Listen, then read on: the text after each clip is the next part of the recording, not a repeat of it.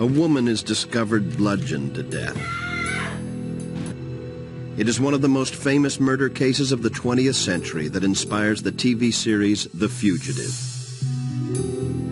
Early morning, July 4th, 1954, police respond to a panicked phone call from a wealthy suburb of Cleveland, Ohio. The call has come from the home of a young physician, Dr. Sam Sheppard. Inside a gruesome murder scene, Sheppard's young wife, Marilyn, beaten to a pulp.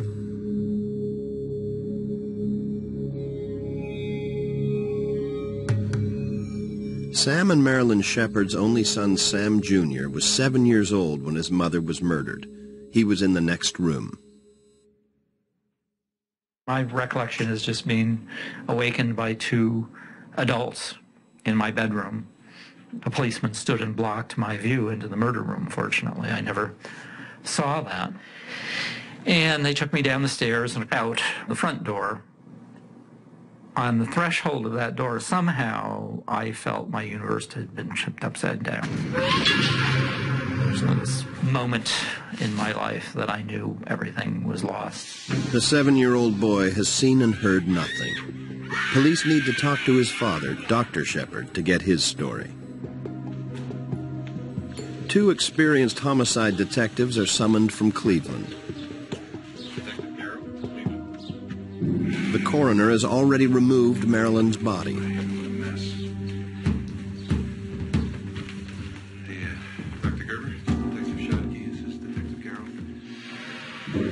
He tells them that Dr. Sheppard is not at home, but in hospital with serious injuries. Dr. Sheppard, we just came from your house. We had a look around, and uh, why don't you tell us exactly what happened last night? We had the uh, Hearns over for supper. Um, it was a lovely evening. Dr. Sam Sheppard gives the first version of the events, launching one of the most famous and complex murder investigations ever. Finished eating around 8.30. And then we moved to the sitting room to watch a movie on television. Marilyn sat on my lap for a bit before I moved to the sofa to have a snooze. Around 4:30 a.m., the sleeping Sheppard is awakened by a scream. I charged into the room, was then struck down.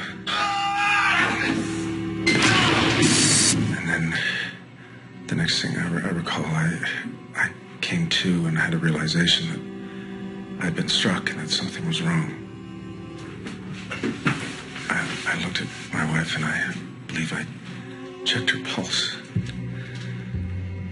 And I, felt that she was gone. I heard a noise downstairs. I saw a form running from the front door down to the lake. Sheppard says he chases this mysterious killer. He loses his t-shirt in the struggle.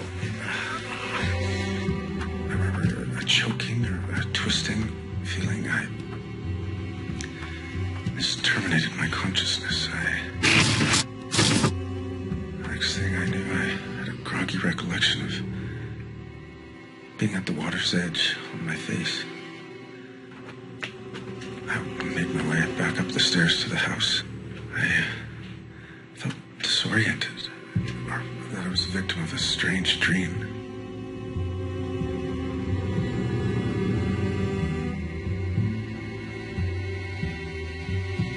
The detectives now head back to the crime scene to look for evidence.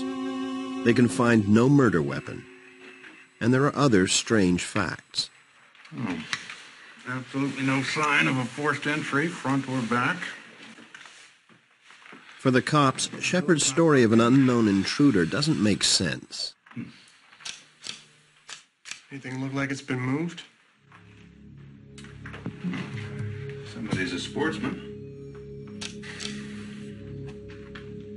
Looks like our guy missed a few things, huh?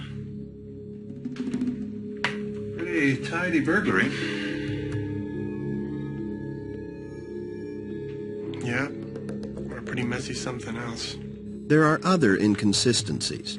The family dog didn't wake up. Neither did Sam Jr. The. T-shirt Dr. Sheppard was wearing is missing, and he called friends before the police. So, you just watched five minutes of a CSI docudrama containing actual footage plus dramatization based on recordings and interviews from witnesses, and you'll see a couple more minutes in a little while. But first, let me lay out some facts. Shortly before 6 a.m. on the 4th of July in 1954, Spencer Houk's phone starts ringing and wakes him up. I think they've killed Marilyn, Sam Sheppard's voice tells him. Spencer Houk is the mayor of Bay Village, the upscale suburb of Cleveland where both he and the Sheppards live. He's also a friend, but he's not the police. For some reason, Sam chooses to call his friend instead of the police. The mayor and his wife Esther rush over to Sheppard's home. They find Sam Sheppard shirtless, wearing pants that are soaking wet. His face is cut and bruised. Esther goes upstairs to the bedroom and observes Marilyn's body lying on the bed, her pajama top rolled up around her neck, her face battered and bloody. At the same time, her husband's downstairs calling the Bay Village police and Sam Sheppard's brother Richard, who's also a doctor. Richard arrives first. He gives Marilyn's body a quick check and confirms the fact that she's dead. The Cleveland police, the coroner, and Sam Sheppard's other brother, Steve, soon arrive at the scene. The two brothers examine Sam's injuries and whisk him out of the house. The brothers contend they're looking out for their injured brother's welfare, but another opinion claims that the brothers took Sam away to avoid interrogation from the police at the scene of the crime. However, the police did question Sam later that same day, and not once, but three times. Here's a recreation of one of those times. Dr. Sheppard, we appreciate that you're talking to us. I know this is difficult, but we have some questions to ask you. Was anything of value taken from your house? I don't know. I didn't have time to check. But you're sure there was an intruder, right? Well, yes, he did this to me. So you phoned. Wait, you phoned the neighbor first, not the police. It was the first number that came into my head. Was your wife ever unfaithful? No, oh, God, What about you? Were there other women in your life? no. Dr. Sheppard, you got to see this from our side. You get burgled, but nothing of value is taken. You struggle with this intruder, but there's no sign of a forced entry. A t-shirt you were wearing is gone. You don't know where. Dog never barked. Your son didn't wake up the whole time that your wife was being killed. Now, I don't know about my partner, but I think you killed your wife. An autopsy gives them their final proof.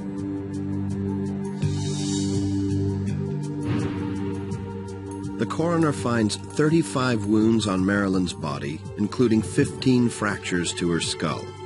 Her battered hands indicate a massive struggle against her attacker. The coroner discovers that Marilyn was four months pregnant when she died.